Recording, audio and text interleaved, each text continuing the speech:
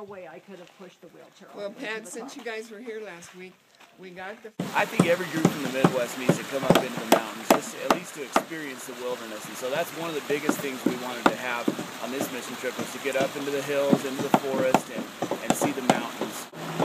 At Wilderness on Wheels, we are all kinds of stuff, moving wood, moving rocks, moving um, hammer and nails on this, this pathway for handicapped people, and all sorts of different things. Um, just volunteering, really, whatever they need. Cool.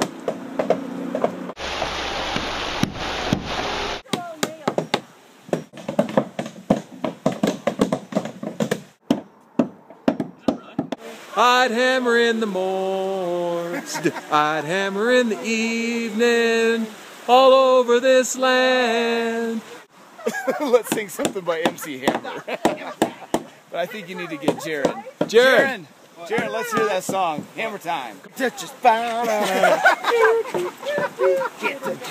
Stop. Hammer time. Walk up to the pile.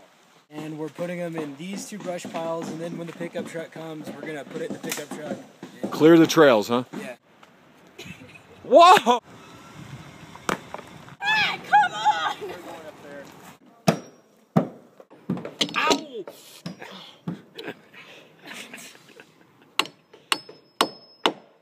Right.